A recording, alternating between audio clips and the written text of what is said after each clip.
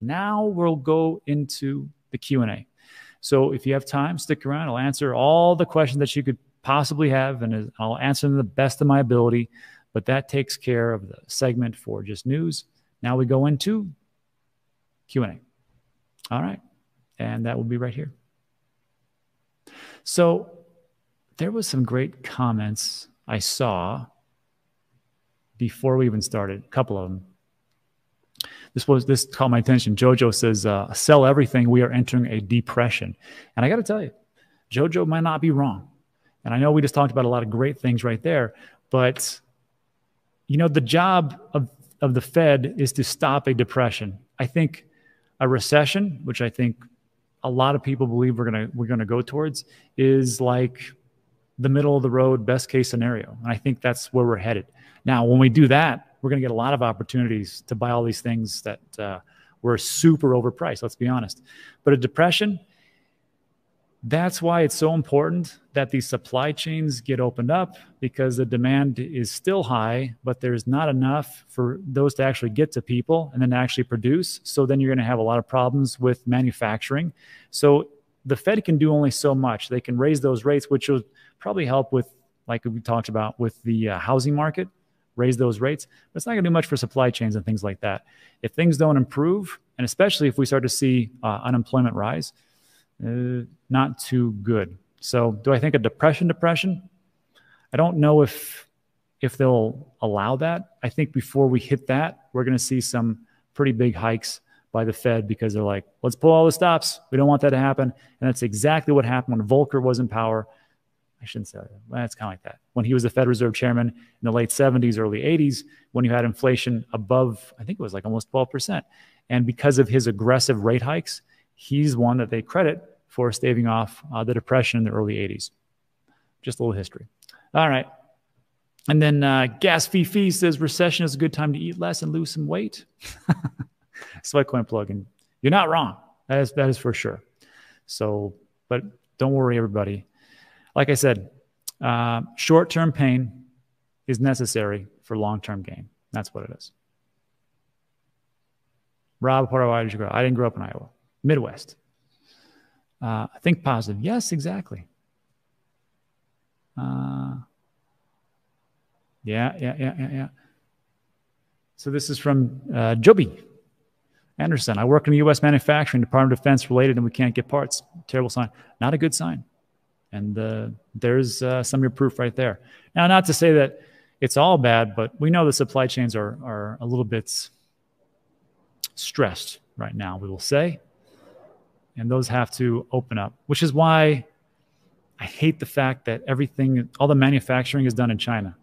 I think it's a national security issue. And we talk, I've talked this before, but this goes over. Echoes from above coming recession. If you guys haven't checked out Echoes from Above, great channel. Macro does way better stuff than I do. Uh, uh, he says the upcoming recession is going to be rough. Hang in there, folks, and keep cash in emergency fund. That's right.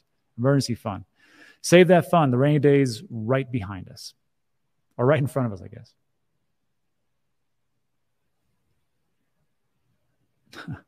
hey, Rob, are you happy with the deal you got at Celsius? Is it manageable in a bear market? So, if we're talking about the loan that I took, uh, no. And we talked about this. I already got liquidated on that one. So I talked about this in depth in a couple weeks ago. So when I was over in Europe at uh, a guy's event, I had a loan. I took a loan out for the house in Puerto Rico, put a bunch of Ethereum, and uh, there was margin calls, and I covered those margin calls. There's more margin calls, covered those and covered those. However, when I was in Europe, I was a little bit busy, and uh, that was a time when everything just went. I think that was time Luna actually crashed and uh, I was uh, out of service, and uh, they liquidated me. So that's what happens. So the thing is, is you have to remember though, is that for Celsius or any kind of crypto loans, when you put it up, let's say you need, I don't know, let's say ten thousand bucks, right? Celsius is going to say, "Do you want ten thousand dollars? We'll give us twenty thousand dollars worth of whatever, Bitcoin, Ethereum, Polygon, whatever, and that's your collateral." And when the loan to value ratio goes down, let's say that, you know, Polygon goes from whatever it is and it goes in half, like you need to recollateralize. And if not, we'll liquidate you because we don't want to be under duress because we have a lot of people. If you don't collateralize, then they just liquidate you. Do they liquidate every single thing that you put in? No. They only liquidate the parts that will cover the initial cost of your loan. So in this case, if it's you put up 20,000 of worth of Ethereum and you got $10,000 in cash, then the value goes to 15,000, they will liquidate $10,000 worth of your Ethereum and they will give you back the $5,000 worth of your Ethereum. They didn't liquidate because that's yours. So there's a little bit of a price difference. I'll just tell you that. And then also be very well aware that borrowing money is not taxable. Borrowing money is, has nothing to do. You will you will not get taxed on on the money that you borrow, but you will get taxed and everything got liquidated because they had to sell it. So just remember that. So looks like old Rob's going to have another tax bill, even though he lives in Puerto Rico. That's just because I accumulated those Ethereum a lot, long time ago. And uh, that would actually lead me to my next point. There's this, there's a term called buy, borrow, die. And uh, that's what the super rich do to get away from cap gains. They will buy an asset, they will borrow against it, they'll put that in the trust, and they will just die and leave it off their family. Family inherits the trust, no taxes. I did a video on that. You should check it out. It might help you if you're super rich. okay. Ah, good, good stuff. What do you think of Kevin O'Leary as a crypto advocate? He's been very vocal of late. He cares about the industry, not just his coins. Debatable. Um, look, I'm not a big fan of the people who are out there in the public because they can turn you just like that. So to me, Kevin's a tourist so far. He's done a lot for the industry. I think he's going to do a lot more later on. Time will tell. But I like the fact that people know Mr. Wonderful, Kevin O'Leary, and they say, hmm, I heard that Bitcoin was for the mafia and it was for terrorism and it was for money laundering. But Kevin O'Leary, he's on Shark Tank and he's a wholesome gent. So maybe I should give crypto a chance. And that is the bigger news. And I think Kevin also is going on it a pretty effective way as far as buying up exchanges in Canada and uh, positioning himself as uh, probably a leader in DeFi and crypto. So we'll see. We'll see. I don't know. Ah. Jacob, yeah. Oh.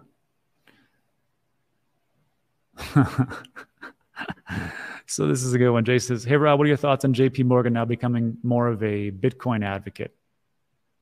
So, JP Morgan, uh, a couple weeks ago, they came out and said that crypto was a pristine asset and they were swapping things around to get to unload some of their real estate positions to get more into crypto and digital assets. I found that very perplexing. Uh, why they would why they would go that route. However, I mean, if you think about it in the long run, what's going to happen with with real estate? The prices of real estate are going to go down pretty pretty far, and the reason is is because as the rates go up, there's going to be a lot of supply because all these all the construction people I know are all working on new houses. The problem is, is that when you have the Fed raise the rates, then people are like, well, shoot, uh, it was just 2.65% for a mortgage, and now it's over five, and it's only going to go up to six, 7%. I'm not doing that. I'll just rent until they go down. So what does that mean? That means that the real estate houses that are out there, they're going to sit on the market for quite some time. So if JP Morgan was into that, they're just losing money essentially. It just sits there and does, does nothing and uh, it'll just sit. You'll have too much inventory, not, not enough demand. Now, that's them. If you want to play it a better way, not financial advice, but I will tell you this: there's a reason why we, me and my wife, did not buy a bunch of different uh, houses and things during like the big run up. And actually, we sold two of our houses in Houston. Uh, the reason was because we'd be stupid not to. I mean, the prices were crazy. And uh, the other reason is that all we had to do was just wait, wait in the sidelines and just go, when are you going to crash? And I hate to say it like that, but it is the truth. And uh, that is exactly what happened in 2007, 8, 9. So I thought maybe it's pretty good play. Again, the, the, the other big question you got to ask yourself is where are you going to hide your money? You know? I mean, eight and a half percent is a pretty high inflation rate. Although someone did say make a good point, they go, "Look, I could rather I have my my cash in my bank account, and yeah, it is 8.5 percent, but if I would have put it into Luna, I would have lost 100%, or on Ethereum, I would have gone down 20% in a week. So, what's your talk point, talking points there? And I was like, that's not a bad point. So, it comes down to this. If you're looking for, for, for some short term opportunities, it's pretty tough. Always look long term, and uh, things usually work out for the best, for the better, I would say. All right. Uh, Idle says prepare for a double dip before the wick up. Ah, we'll see. Maybe this is a bull trap. And hey, Rob. This is a Marco says, Hey, Rob, I really think Ben, talking about Ben Cowen from Into the Cryptoverse, is right with his thoughts on market movement. He's super smart. Cat, that's for sure. Would you agree with Ben as well? Yeah. So Ben thinks, and he does a great, got a great channel. He's actually, we do a show together, DCA every Friday.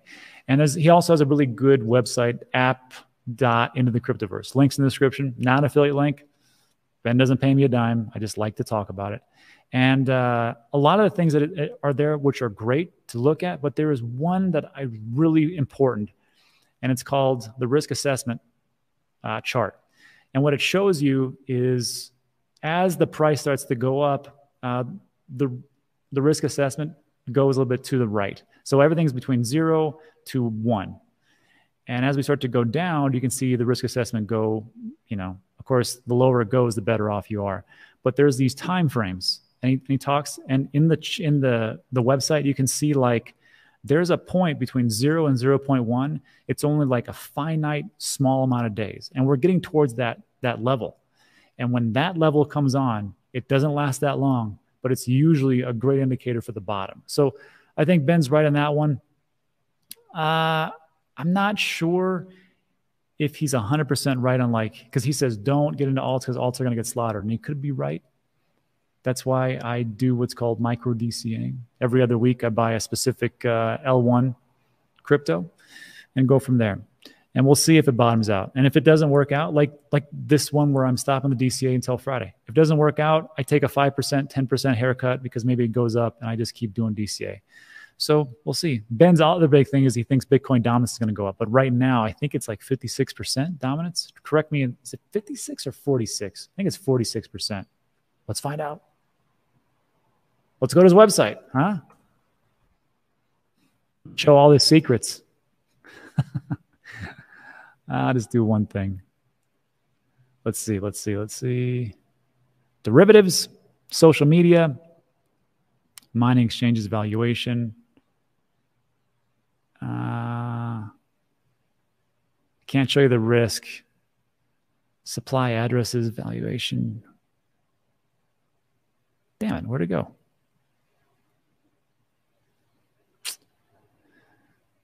Supply. I'll find it in a second. Ah. Other. Ah, ah, here we go. Forty-six percent. Wish I could show it to you. Oh, let me see. Uh, it's right here. Sweet Mary Joe's. Let me share my screen. I don't want to, because there's some things Ben's like, don't show that part. That's only for paid customers. And other ones, he's like, okay, you can share that stuff. So hopefully this isn't uh, one I can't show. So this is Ben's website. A lot of great information. Here's the dominance in red. I didn't know it went up that high in uh, in January 2021, almost 70, 69, 70%. And now here we are, 40, 41. Why is that important? Because you start to see that people will start to sell off their alts and go into Bitcoin, such as myself. And you got 46%. So that's just one of them. And he's got some pretty good stuff over here. Uh, volume of crypto options, exchange money transactions, supply, moving average. This is a good one. Return on investment, monthly returns. I always like to see this one just to see where we're going. Because, uh, man, we're already, June's not a bad month. May was a junk month, negative 15, one of the few ones. Don't know. Just good to look at and some other stuff. Logarithmic regressions and such. All right. Let's see. Junk Bond Trader says there's so much more to crypto beyond Bitcoin. Don't tell the maxis that. They'll kill you. They'll kill you in the, in the, in the chats. But you're right. There is more. And you know what's funny? There was a great interview with uh, Peter McCormack from What Bitcoin Did and Lyn Alden. And in that show, we talked about this a couple days ago, even Peter McCormack, who is like super Bitcoin max, he was like, you know, he goes, uh, in different countries that I've, I've visited, there's these people that need stable coins and they use stable coins effectively. And it actually is a really great thing for them.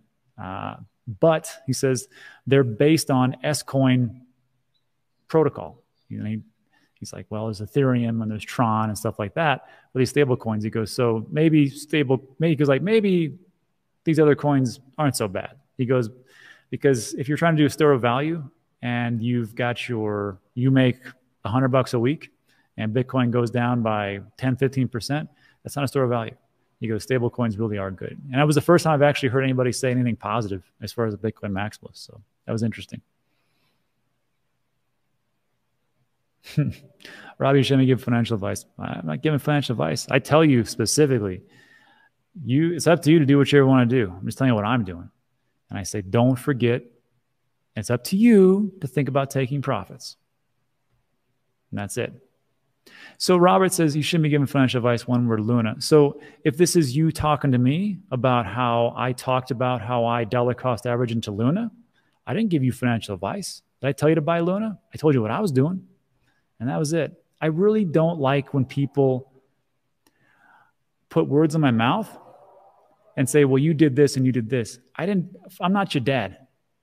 So if you don't like the information I'm, I'm giving out, go someplace else. There's, pl- there's plenty of YouTube channels which are full of hopium, right? Me personally, yeah, I bought I bought Luna. Yep, I dollar cost average. I also told that I was doing uh, Bitcoin, Ethereum, Luna, Cardano, and things like that. And I, along the way, I've been saying the same thing. Have I not? Take profits. Nobody ever went broke taking profits. It's a funny thing that I say these things, and then people uh, somehow forget about what's going on. Also, I will say this that in uh, December and January, when I was talking about taking profits, I got this weird look from everybody like, why are you doing that? Diamond hands forever, baby. You're a moron because it's going to the moon.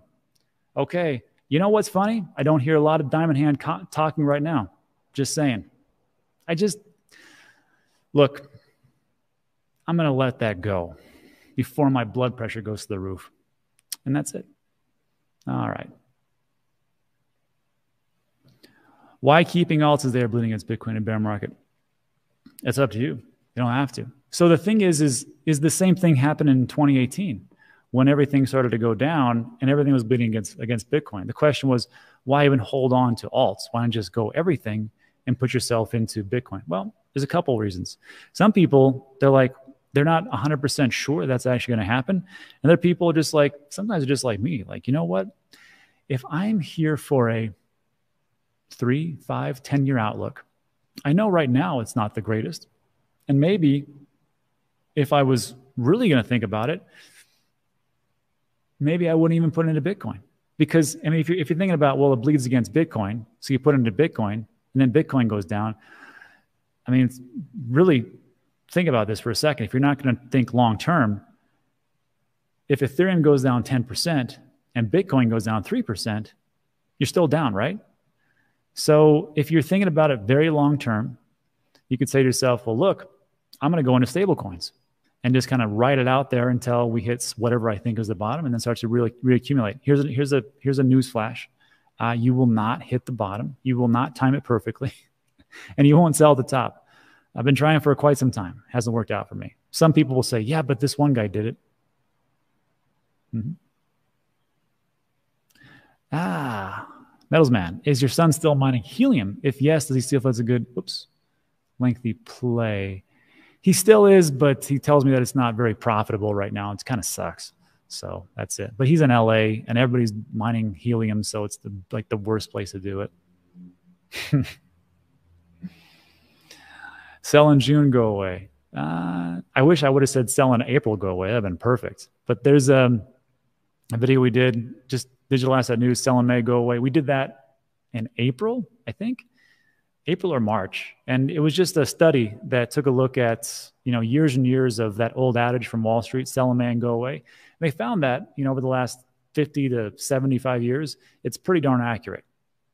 So I see a lot of pain in the summer, and then maybe a little rebound towards the end of the year. But 2022, let's be honest, is not going to be like uh, a bull run in any way, shape, or form. Junk Montreal, Fred Take, thanks. All right. Uh, Chewy says Kevin O'Leary doesn't care nothing about the industry as long as his money is going up. Well, he is an entrepreneur. And that's pretty much it. Money talks, and that's how. Let's see. And Akko, I think I answered this. So there we go. George and Rob are the best. Thanks. George does a lot more live streams than I do. He also has a car channel. You should check that out. Sus. Uh, oh, this is interesting. Edward says, uh, Sweatcoin is helping me and my wife to walk more. Great. That's the whole point. Found out my son, found out my son on since 2020 and literally impossible to catch. yeah yeah, that's the problem. And I will tell you, like, there are a lot of times when I look at my phone, I look at the steps, and I'm like, damn, I'm only at 7,000. I need 3,000 more steps. And it forces you to kind of get in there. It's just a, it's a gamification. And if that, you know, helps you live longer, not so much, not so much the worst. I'll take it. 46.8, 47.5, 44.6, Bitcoin domination, and of course, it's different everywhere. You guys are correct. Uh, yeah, so this is something. Jay Young Chow says, Do you ever look how in real estate people are over leveraged with private loans and that can lead to another black eye for crypto? I feel July will be it, be it's historically it's the worst month. I you have to understand that everything's connected. So when the stock market goes down, people have to pay their leverage positions because they're a bunch of degenerates over there. Not like in crypto. So what do they got to do? Well, there's only one place that's open 24 7, 365, uh, besides Forex, I know, uh, is crypto. So they're going to sell a bunch of crypto and, and uh, take care of those positions. Now, if, uh, if we have an issue with real estate falling apart and then people going, wow, you know, I can't, or God forbid they took, you know, a second mortgage against their house to pay for things and they can't pay for that. And, then, they, they look at all the crypto going down and stocks going down. So what are they going to do? Liquid. They're going to liquidate so they can cover those and not lose their houses. Kind of what happened in 2008. So I see it happening again. And it's okay. If you if you set yourself up for it, you're waiting. For, you want this to happen. You need it to happen. You'd like it to happen. It's going to suck for some people, but the ones that have been there, Bob Hayes, how's your theta? I haven't checked on the theta pineapple for quite some time. I know I still have it. It's in one of my wallets. I just don't know which one. I have a, a spreadsheet of all the stuff that I have. Yeah. I make Matic daily. Awesome. Maybe you staking? Yeah. Robert Goss says it's uh, yeah, Young. I think that's a good point. Real estate trouble does spill over to other assets. It yeah, did in 08. Everyone took a big hit. People overextended.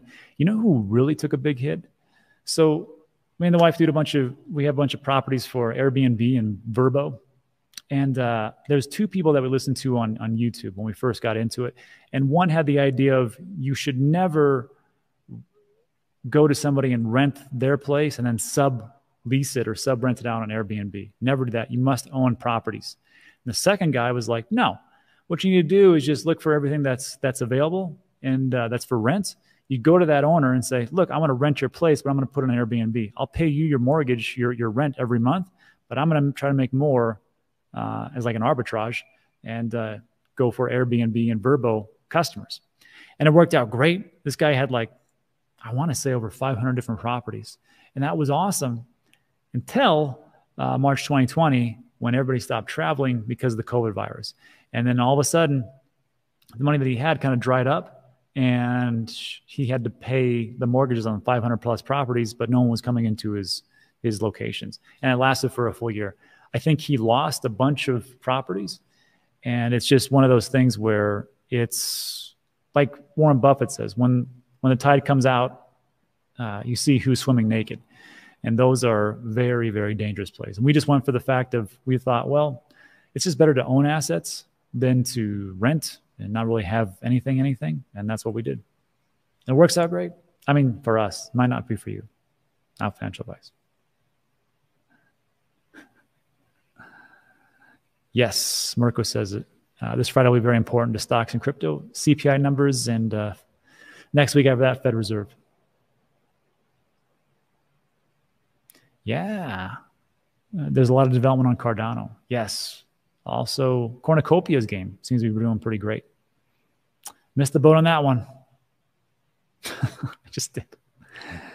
So, Matt, what's up, bro? Things gonna be moving on Sweatcoin. See, that's why I like Sweatcoin because it's free and it forces you to move. Then you then you get to uh, compete against me.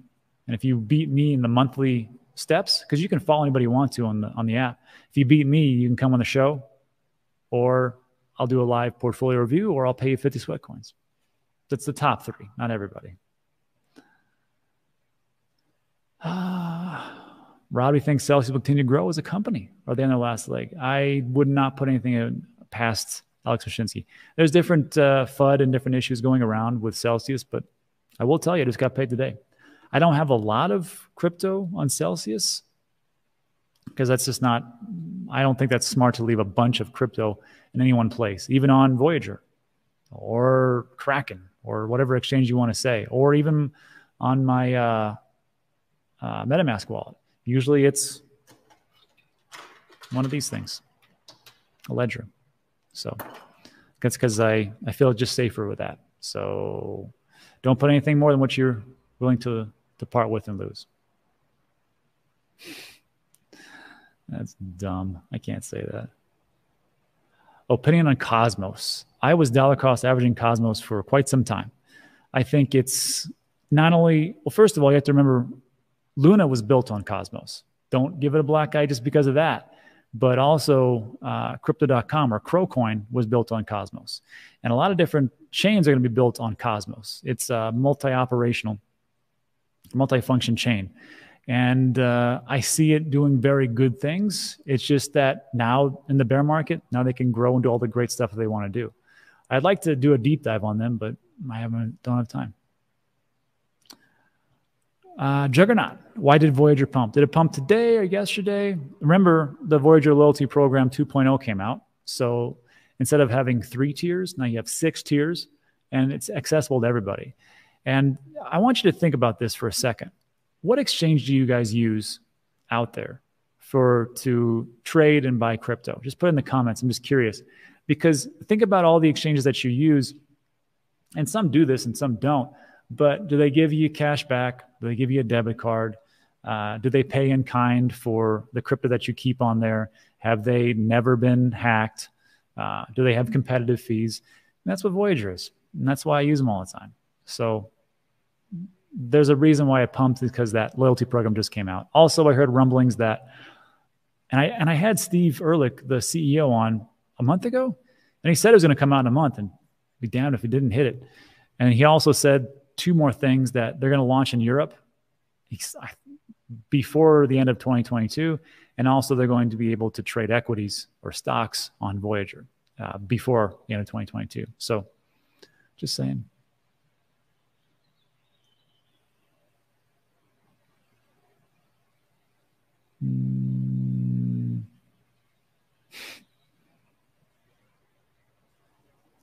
Let me go all the way down. I think these are questions I already answered. Ah, here we go. Binance, Bybit, Aave, Vault, and Celsius. Well, Aave, yeah. Celsius has a great swap function, though. I will say that. I wish Voyager had that. It's pretty cool. Bybit, I can't use Bybit. I'm an American. Binance, I can't use Binance. I can't even use Binance US because I'm in Texas. Great question. Jeff says, Rob, how's your portfolio holding up? Not the greatest. However, Let me show you something.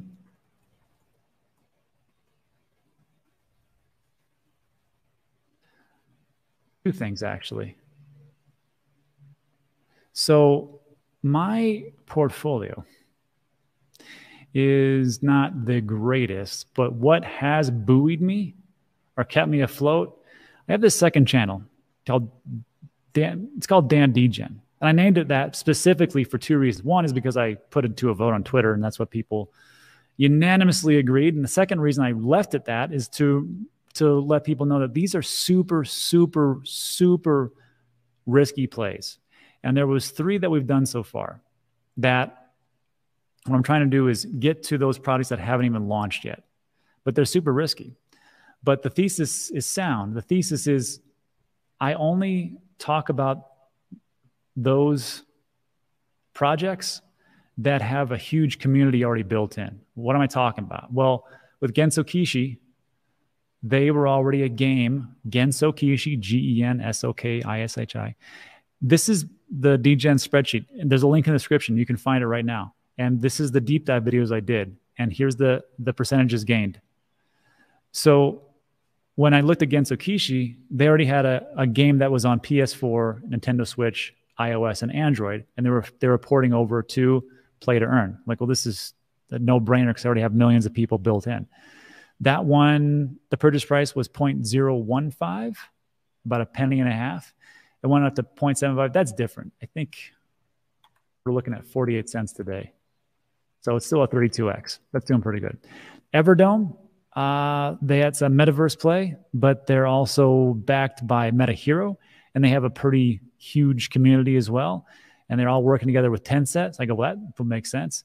Purchase price was uh, uh, half a penny, and now it's two cents. So I get a 4x. But it, these are all like bear market prices. And the last one was Fame MMA, which that one was, it was UFC.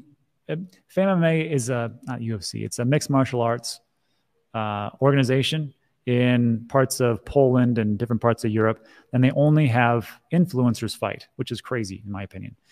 But uh, influencers get paid in their fame token. Uh, they're doing NFTs, they're doing play to earn games, they're doing all this great stuff. You can help with your discounts on pay per view. They're using so like that was that's like millions of people. That was a no brainer too, and that one did really good. Now they've all come down, but I will tell you this: I am not 32x up on my Bitcoin, or 4x up on my Ethereum, or 7x up or 5x up on my Cardano uh, from, I mean, as it's gone down, the recent ones. So yeah, um, that's how it's been. Those are the ones that have buoyed me. Again, if you check out Digital S Dan Degen, just know that they're super duper risky and you probably lose everything. That's all. Uh, Adrian, what's your thoughts on Matic for this bear market? I like Matic. We're going to do a video about Matic. I'm going to show you, I'm going to show everybody how to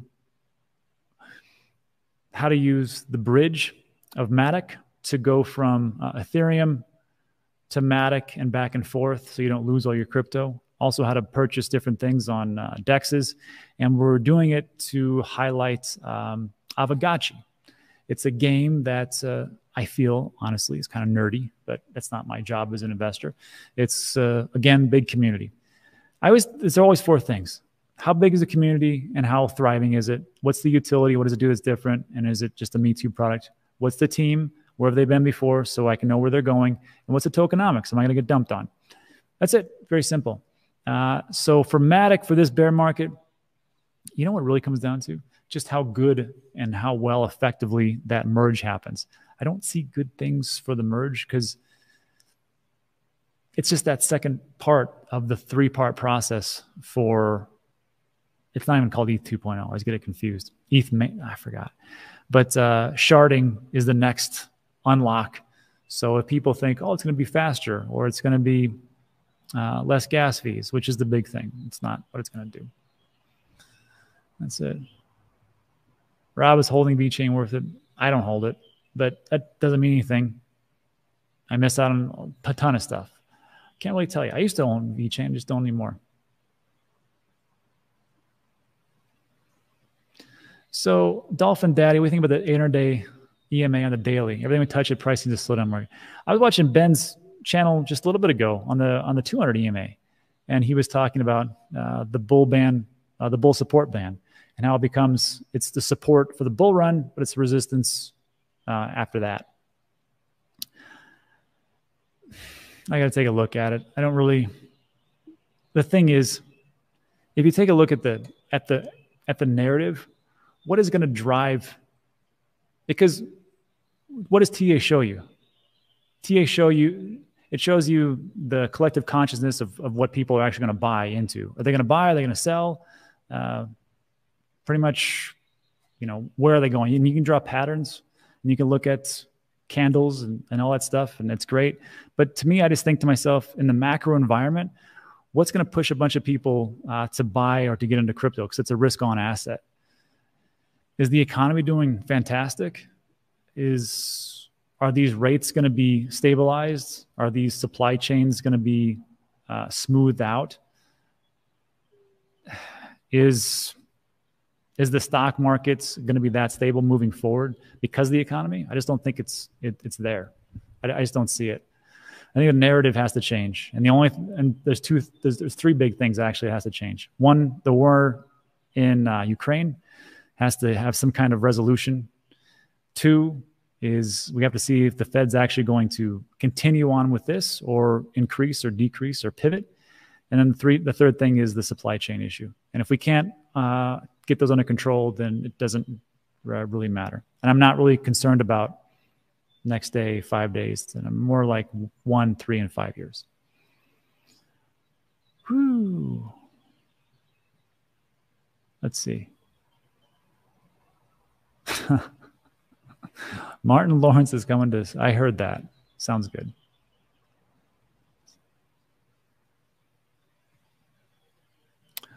World Mobile Token is coming to America. I'm in talks to bring them on the show. Sounds pretty good. Thanks, Jag. I try. Is VGX worth it? Depends. Depends on what you want to do, right? If you're if you're trading a lot on Voyager, it's probably worth it. If it's like not your main thing, I mean, probably not. But to me, I always think to myself, and the and the referrals are pretty good. Like it's like 50 bucks depending on which which tier you're at. It's like 50, 65, 75, 100 and like $125 per referral. So, and that just depends on the, on the tier you're at. Again, if you use Voyager like I do, also um, Voyager just upgraded their their limit orders. Like I put in a limit order for 20,000 for Bitcoin. Like when it hits 20,000 to buy a full Bitcoin. I put that in and uh and it's it's stuck because before the limit orders were very tight. You can only do like a thousand up or a thousand down, or sell or buy. So like if if Bitcoin's at thirty thousand today, I can only say buy it at twenty nine thousand, and we only execute that, which kind of sucks, especially when it wicks down to twenty five k. So now it's it at least goes to at least 10 10,000 below. So I like that part. You know what? Everybody's. I think I've answered this three times. I'm going to say, I'm not, no, it's not. I'm not going to hold it, but you can hold it. I know they're big with China, but I don't trust China.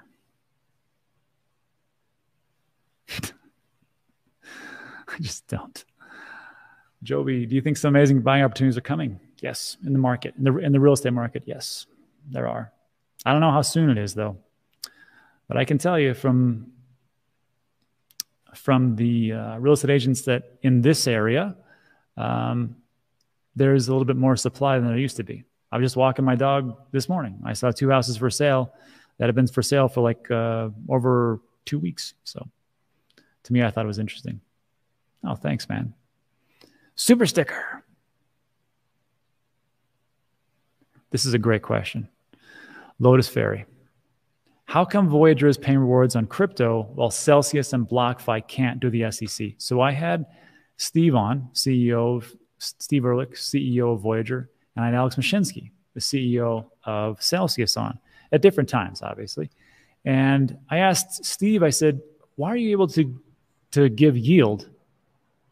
And he's uh, as a you know like BlockFi and Celsius are are, are stopping that um, for uh, Americans. Celsius hasn't stopped it, stopped it, um, but they've they've reduced it, and then of course the credit investors and things like that. that was a big thing. Accredited investors, excuse me. In America, you have to be an accredited investor. Either you make so many millions of dollars per uh, in a business, or you make over two hundred thousand dollars per year, or some combination of the two.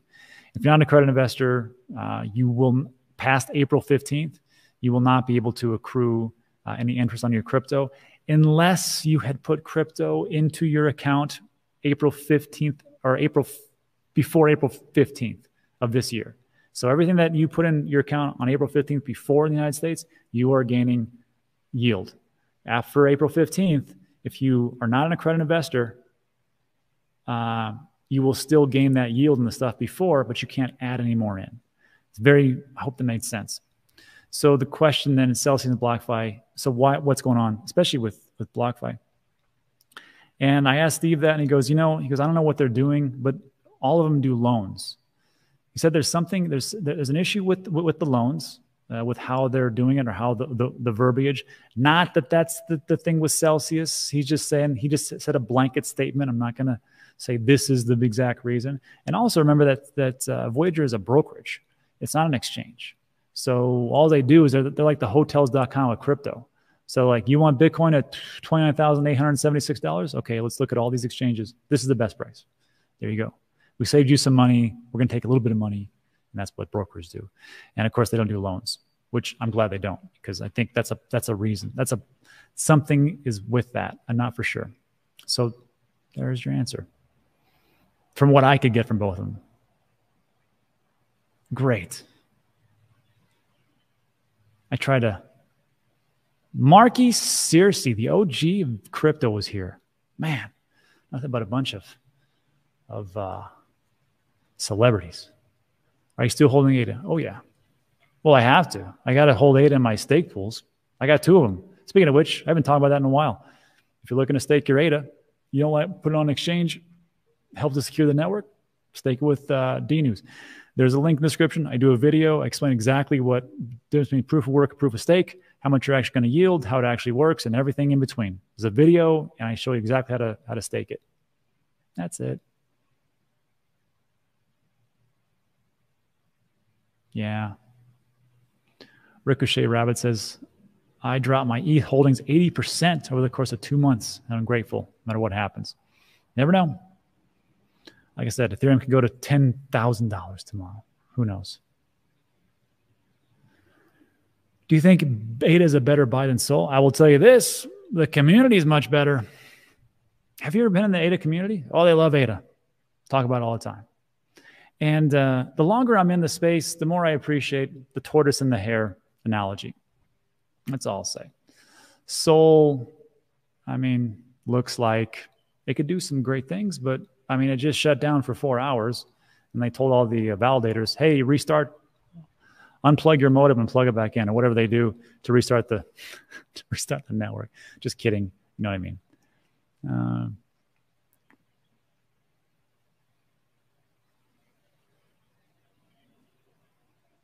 Yeah. Uh, I think that's it. Oh man, we went way over. So look, let me make sure I didn't, didn't miss anything. I'm sure I did. So many. Eduardo, thoughts on the crypto regulation bill that will happen tomorrow with uh, Lummis and Saylor? See what exactly what it says. Not for sure. But again, I think it's a step in the right direction. We can't get people to come in here without regulation and a little guidance. That's just what it is. I know people think we don't need it, but we do. And before you say, what has regulation ever done as far as like the positivity? Government can't do squat. Did okay with OSHA, Occupational Safety and Health Act. Allowed people not to breathe in a bunch of asbestos and die of lung cancer and stuff like that. I'm just saying, not like the corporations were going to save us. Let's be honest. And, you know, Act 230 allowed uh, the internet to flourish because the people who own the uh, websites didn't want to get sued for slander or libel for people that actually wrote different things on their websites as far as blog posts and things like that and be responsible. So it's not like it's all bad. Works out okay. Anyhow, that's it.